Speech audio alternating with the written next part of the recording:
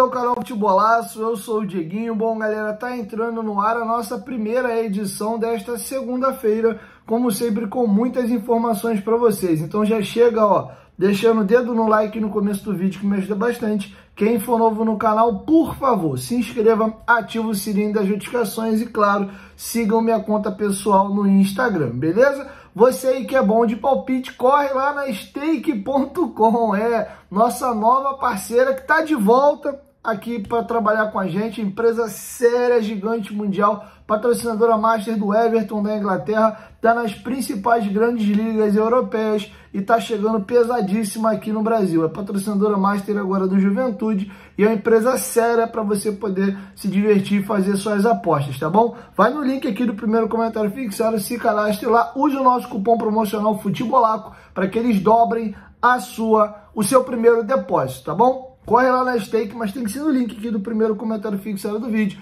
E não esqueça de usar o cupom FUTEBOLAR. Os melhores odds do mercado são lá na stake.com. Vai lá, você vai se amarrar. Beleza? Dito isso, galera, vamos às informações. Primeiro, dar uma passeada aí nos resultados da rodada.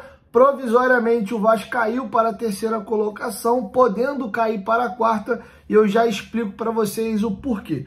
Vamos primeiro aos jogos. O Botafogo venceu o Sampaio Correia por 2 a 0. O Flamengo e a Portuguesa ficaram no 0 a 0. O Madureira venceu Volta Redonda por 3 a 1. Bangu e Vasco ficaram no 2 a 2. O Fluminense meteu um 3 a 0 na equipe do Nova Iguaçu. A rodada encerra hoje. Temos Aldax e Boa Vista. Você pode fazer aposta nesse jogo lá na lá na stake.com, tá bom? E aí o Vasco ficou na terceira colocação, porque o Fluminense com quatro jogos tem 10 pontos, o Botafogo também com quatro jogos tem 9 pontos, o Vasco com quatro jogos tem 8 pontos, e a equipe da Portuguesa com quatro jogos tem 7 pontos, mesma pontuação do Nova Iguaçu. O Boa Vista que joga hoje tem 6. O Boa Vista vencendo o seu jogo, ele salta para 9 pontos e empata com a pontuação hoje que tem o Botafogo. E aí o Vasco cai para a quarta colocação. Lembrando que o Flamengo tem um jogo a menos, tá? O Flamengo não jogou na terceira rodada contra a equipe do Volta Redonda. Esse jogo será disputado no dia 10 de fevereiro, num sábado, para o Flamengo estar tá aí com a rodada em dia. O próprio Flamengo, em caso de vitória nesse jogo atrasado, né? Deve acontecer saltaria para oito pontos e hoje teria a mesma pontuação do Vasco. Nosso saldo de gols hoje é 4, do Flamengo também é 4. Então, uma simples vitória do Flamengo e uma vitória hoje, que é o mais provável de acontecer do Boa Vista contra a equipe do Aldax, o Vasco hoje estaria fora dos quatro classificados é, para as finais do Cariocão. Então, é importante pontuar, porque nós já temos aí dois tropeços nesse campeonato. dois empates, um com a equipe principal e a outra com o Expressinho. Empate esse que só aconteceu porque o Vasco foi absurdamente garfado ontem lá no estádio Mané Garrincha. E eu fico muito chateado, cara, porque é incrível como o Vasco, ontem não por culpa sua, né, por, por, pelas questões de arbitragem, mas o Vasco ultimamente não tem conseguido é, presentear os torcedores off-Rio. Na maioria das vezes que o Vasco nesses jogos vai fora do Rio de Janeiro, né, com torcida quase toda, ou na maioria das vezes até 100% nossa, o Vasco acaba aí não conseguindo os três pontos. A galera de Brasília foi, fez uma festa incrível, foram 22 mil pessoas, só não foi mais porque é, estrupiaram o torcedor aí de Brasília, tanto é que, só para vocês terem uma ideia, a renda do jogo foi superior a 2 milhões de reais,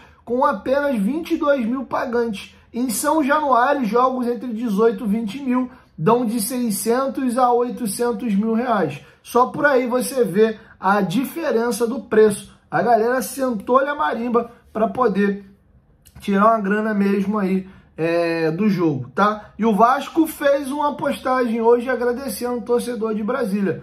É, valeu Brasília, obrigado por todo o apoio, tá? Então parabéns ao torcedor aí que mora em Brasília, que fez um esforço e foi lá assistir o Vasco mesmo com é, esse, esse preço de ingresso aí surreal, tá bom? Outra situação é, importante, falando ainda sobre essa questão sobre essa questão da arbitragem, o Vasco emitiu uma nota ontem. O Vasco da Gama SAF enviou ofício à FED requerendo que o árbitro da partida, o senhor Tarcísio Pinheiro Caetano, nunca mais componha a equipe de arbitragem em jogos do Vasco da Gama SAF em qualquer função e ou competição e também esclarecimento sobre as decisões da arbitragem, tá? O Lúcio Barbosa deixou a delegação que está em Brasília para vir para esta reunião com a FERJ aqui no Rio de Janeiro. Lembrando que o Vasco treina hoje e amanhã em Brasília e na quarta-feira, no dia do jogo, viaja para Uberlândia para enfrentar a equipe do Nova Iguaçu às 6 e 10. Então, Lúcio Barbosa deixou a delegação para vir para esta reunião aí com a Ferge, tá? A ESPN conseguiu apurar internamente de que é impossível você afastar, é, excluir eternamente o Tarcísio de apitar qualquer jogo do Vasco ou estar tá na escala de arbitragem, mas momentaneamente, talvez dentro desse campeonato carioca, de fato, ele não, é, não apite mais jogos do Vasco. Tá? Isso não é uma informação oficial, a FERJ ainda não se posicionou, mas devemos ter algum movimento nesse sentido, tá? Que o Vasco aperte aí, porque foi um absurdo. Falando dos erros de arbitragem, eu falei para vocês no meu pós-jogo do lance do Zé Gabriel, tá aí o frame. Olha o pisão que ele toma no meio da perna, inclusive se você olhar, a planta do pé dele ali tá firmada no chão. E aí, como a pancada vem no meio da perna, se a perna do Zé tá completamente firmada e com impacto, ele poderia ter fraturado a perna. E não foi qualquer resvalão, pegou feio. Tanto é que olha o estado que ficou a canela do Zé Gabriel. E aconteceu alguma coisa nesse lance? Foi só um simples cartão amarelo que não foi dado de imediato. Ele viu que o Zé Gabriel ficou no chão reclamando um tempo e depois ele foi lá amarelar o jogador do Boa Vista. O Eric Marcos tomou um pisão em cima do pé. E o Eric Marcos até gira capota e cai por cima do jogador depois e o jogador sequer tomou cartão na jogada. Então nós tivemos lances bizonhos. E outra, olha o frame aí da imagem do lance do Jair. O Jair sequer pegou o jogador do Bangu, entrou mais firme, foi mais duro no lance, tudo bem, mas foi expulso incorretamente com 4 minutos de jogo. Então a arbitragem do Tarcísio ontem foi bizonha. Já dei a minha opinião sobre a questão dos acréscimos, acho que tá, tá dentro do ok. O gol do Payet tinha estourado um pouquinho do tempo já. Aí ele não vai acabar o jogo de imediato. O lance do Bangu é bem assim que a bola sai. Tem o pênalti, ele marca. Depois ele poderia ter acabado o jogo e não acabou também. Deixou seguir um pouco o Vasco quase ainda. Fez o 3 a 2 Então nem tô entrando no mérito desses acréscimos aí não. Agora, os erros, na minha opinião, foram com relação a essas questões das expulsões, tá? Inclusive o jogador do Bangu, que não era para ter sido expulso, foi. Ele deixou de expulsar o jogador que deu entrada no Zé Gabriel e no Eric Marcos e expulsou o zagueiro que não tinha nada a ver. É, mas enfim, tá feito o registro aí, uma péssima arbitragem ontem do senhor Tarcísio, tá? Outra situação, tá finalizado o negócio, tá? Juan Esforza é o novo volante do Vasco da Gama. Os dirigentes do News Old Boys confirmaram a negociação ontem. Os companheiros do GE também trouxeram novidades ainda ontem. O Vasco vai pagar 5 milhões de dólares pela compra do jogador. E se ele bater algumas metas, o Vasco ainda tem que pagar mais 1 milhão de dólares, tá? O News Old Boys fica com 20% de mais-valia. O que, que é isso, Dieguinho? Numa eventual venda futura do Esforza, o News Old Boys ainda tem direito a 20% dessa transação, tá bom? Falando aí em metas e transação, o Vasco vai ter que pagar mais 5,3 milhões de reais ao Corinthians, tá? Tinha um aditivo no contrato da compra do Lucas Piton. Inicialmente, o Vasco pagou 16 milhões e meio de reais para poder comprar 60% dos direitos econômicos do Lucas Piton e se ele atingisse 50 partidas com a camisa do Vasco, nesses 50 jogos atuando pelo menos 45 minutos, o Vasco tem que pagar mais um milhão de euros, tá? E o Lucas Piton atingiu essa marca ontem na partida contra o Bangu, tá? Foram 37 jogos aí pelo Campeonato Brasileiro, ele só ficou de fora de um jogo do Vasco no Brasileirão por suspensão ele também jogou 10 jogos no Campeonato Carioca, dois jogos na Copa do Brasil e um jogo agora no Cariocão, totalizando 50 jogos com a camisa do Vasco, tá? Boa sorte ao Lucas Piton. Lembrando que o Vasco tinha pago uma só das cinco parcelas que acertou com o Corinthians.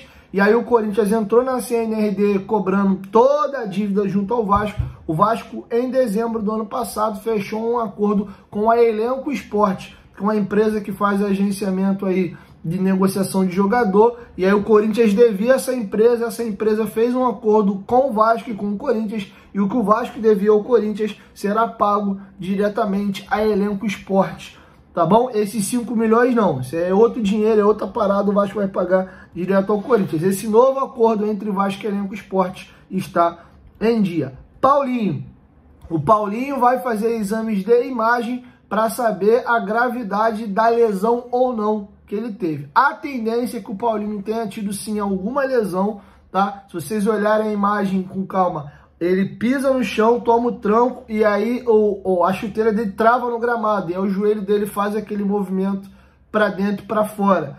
Né? Tomara que não seja nada grave. O Marlon Gomes teve uma torção no tornozelo meio esquisita naquele jogo do Bragantino, mas vamos torcer para não ter sido nada demais aí. Mas o Paulinho com certeza está fora do próximo jogo. Lembrando que no domingo, depois do jogo do Nova Iguaçu, tem Vasco e Flamengo. O Jair está fora do próximo jogo pela expulsão e temo que o Jair tome alguma punição. Não pela expulsão em si, que não era, mas ao sair do gramado, ele deu uma bicuda no microfone que estava ali do lado, deu uma bicuda, zuniu longe. Então ele teve uma atitude antidesportiva, super compreensível pela sacanagem que ele passou ontem, mas a, a federação, se ela separar uma coisa da outra, não vai levar isso em consideração. Talvez até leve, ciente de que o juiz fez uma tremenda da cagada, podem ser que façam vista grossa, mas o ato dele de bicar o microfone, ele cabe julgamento por indisciplina, tá? Mas certeza que o Jair tá fora do jogo do Nova Iguaçu,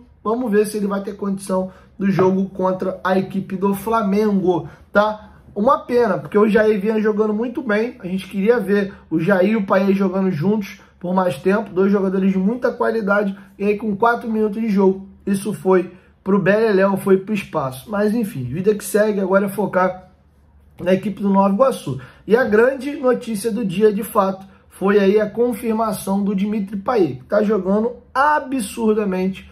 Nosso maior reforço já estava dentro do próprio elenco. E isso acontece, vira e mexe em vários clubes.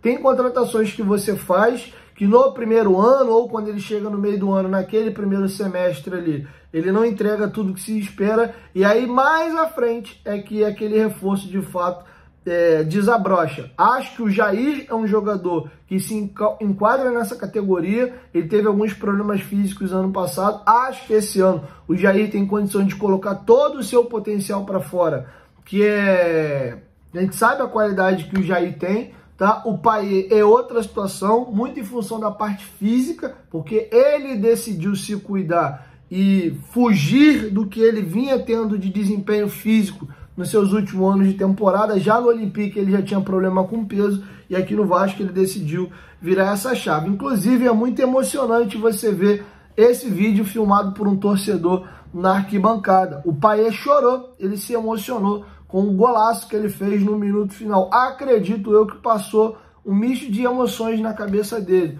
Cara, tá valendo a pena meu esforço, minha dedicação, Pô, muita gente já achava talvez que eu já não conseguia mais jogar com a idade que eu tenho, problema com peso, então tá valendo todo o esforço. Ele fez um golaço já aos 53 para 54 minutos, uma jogada completamente de talento, mas de muita força.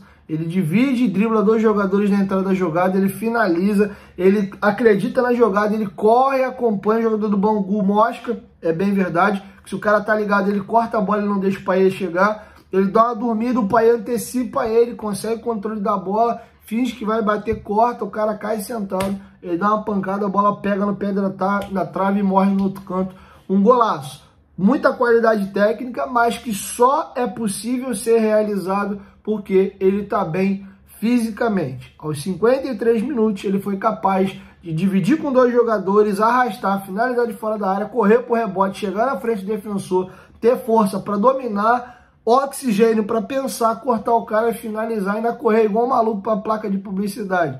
Tudo isso aconteceu, assim como o lance do primeiro gol que ele arrasta antes do meio de campo e vai parar dentro do gol no lance do gol do Praxedes. porque ele está bem fisicamente. Futebol moderno não adianta. Você pode ser o Cristiano Ronaldo. Se você tiver mal fisicamente, acima do peso, principalmente com a idade que esses jogadores já têm, o Paê completa 37 anos nesse ano, o Cristiano Ronaldo tem 38, tu não vai andar, irmão. Pode ser um craque, tu não vai andar. E a gente viu que o Paê entregou muito pouco ao Vasco ano passado. Fez um gol de falta, que para bater falta basta você ter qualidade, isso ele tem demais, e um gol no lampejo ali no arrancada é, no começo do jogo contra o Fortaleza. Tanto é que o Ramon Dias, 90% ou mais dos jogos, deixava ele no banco e teve jogo que sequer o Paê saiu do banco de reservas. Então, parabéns ao Paê pela dedicação, pelo esforço, tu é um craque, tu joga demais.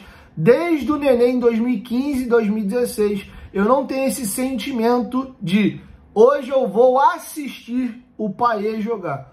Hoje é assim que eu vou. Eu vou ver o Vasco, que é meu clube do coração, mas eu vou ver o Vasco e o Paê. Isso não acontecia comigo desde 2015 e 2016 com o Nenê. O Nenê era esse cara. O que, que o Nenê vai fazer hoje? O Nenê é um craque. O que o Nenê jogou ainda bem fisicamente ali em 2015 e 2016, piada, irmão. Todo jogo era gol, assistência, gol, assistência, gol, assistência. Ou uma coisa ou outra quando não tinha as duas coisas. E cada golaço que o Nenê fazia de fora da área era chapéu, era caneta, era um absurdo ver o Nenê jogando naquele período. Tanto é que mesmo com a idade avançada, em 2016, ele foi, teve o nome dele cogitado a voltar à seleção brasileira. Tá bom? Então é isso.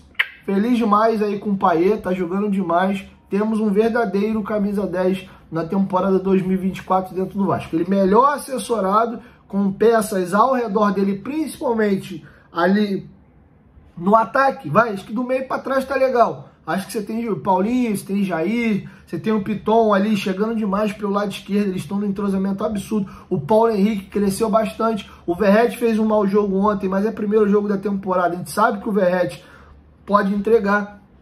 Acho que o Paê precisa ter boas opções de ponta. Acho que hoje as maiores carências do Vasco, até com a chegada agora do Galdames e do Esforza, são as pontas. O Adson fez até uma boa temporada no Corinthians. Quero ver se confirma isso no Vasco. É, ainda tem algumas ressalvas, mas acho um bom jogador. O David, eu acho que é interessante jogando de segundo atacante no 3-5-2. Aberto não me agrada. Né? Vamos ver. Precisamos urgentemente de pontas, jogadores que façam gol, dão assistência e que tenham qualidade para poder ter essa troca com o Paê. Tá bom? Então é isso, galera. Assim a gente encerra a nossa primeira edição. Logo mais eu volto com a segunda e última do dia, beleza? Um, dois, três, futebolaço, tamo junto família, qualquer momento, de volta lá, tamo junto, valeu, fui!